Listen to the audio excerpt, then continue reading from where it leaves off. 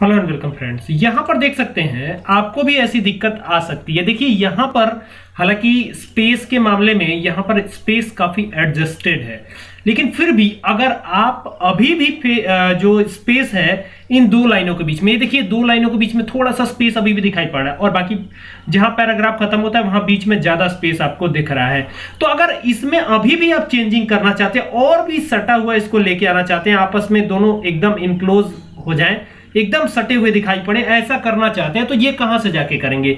तो देखिए यहाँ पर आपको एक टैब मिलता है लेआउट टैब ठीक है? यहाँ लेआउट टैब में आप चले जाइए जैसे जाएँगे लेआउट टैब में तो यहाँ आपको दिखेगा आ, ये ये यहाँ पे देख सकते हैं यहाँ पे एट पीटी दिख रहा है दिख रहा है स्पेसिंग तो ये एट पीटी दिख रहा है तो आप इस पूरे डेटा को सेलेक्ट कर लीजिए और यहाँ पर एट पीटी को थोड़ा घटाइए यहाँ पे आइए और आइए देखिए, ये ज़ीरो हो गया। अब ये एकदम से सटा हुआ आ रहा है। लेकिन अगर फिर भी आप चाहते हैं कि इसमें और भी गुंजाइश हो, और भी ज़्यादा इसे पास पास कर दिया जाए तो इसके लिए आप यहाँ पे आ जाइए। और यहाँ पे दिया हुआ है एड रिमूव और बिफोर ये दिया हुआ है ना?